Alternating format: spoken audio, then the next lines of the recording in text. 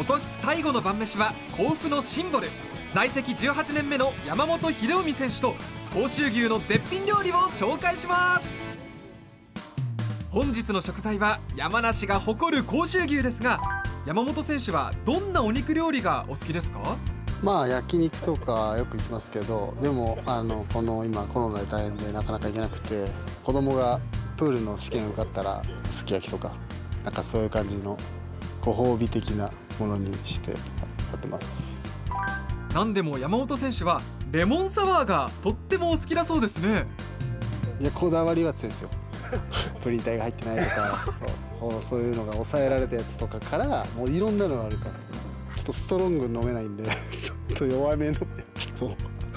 買ってます。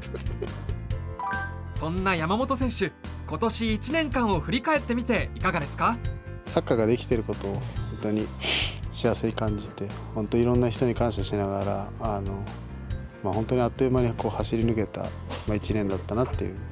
とそういう感じです。本当にサッカーが大好きであのサッカーに生かされてる人間なんで本当にサッカーに感謝しながらあの一つでも試合に出たいしまだ若い選手にも負けたくないしもっと上手くなりたいんで、まあ、その努力は続けたいなと思ってますけどはい。若菜先生甲州牛美味しくしてください。はい。香ばしい風味がご飯によく合う甲州牛の味噌漬けローストビーフ丼紹介します。それでは調理開始。まずはビニール袋に塩麹などの調味料を入れ軽く混ぜたらそこに甲州牛を入れてよく揉み込みます。そして冷蔵庫で2日間じっくりと漬け込んでおきます。漬け込んだお肉の表面の味噌を軽く拭き中火から弱火で表面をじっくり時間をかけて焼いていきます。そしてアルミホイルに包み20分ほど休ませ余熱で火を通しておきます。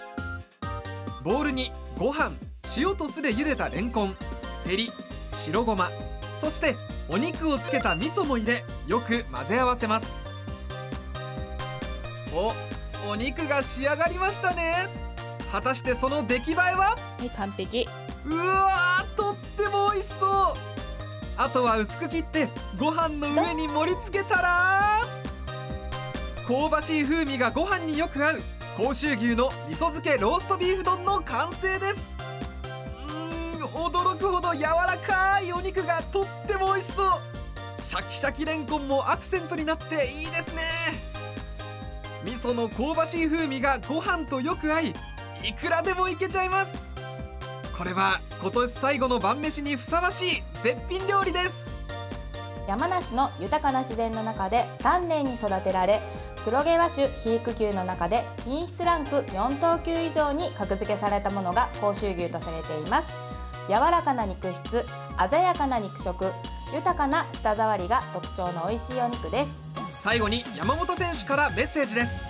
今年は本当に大変なシーズンで、えーなかなかスタジアムにも足を運べなかったりあの人数制限が続いていたりして、えー、皆さんと直接コミュニケーションを取ることができなくて本当に残念です、えー、でも皆さんの熱い応援というのは僕たちに届いてたし、え、一緒に本当に戦えて1年間良かったです、え、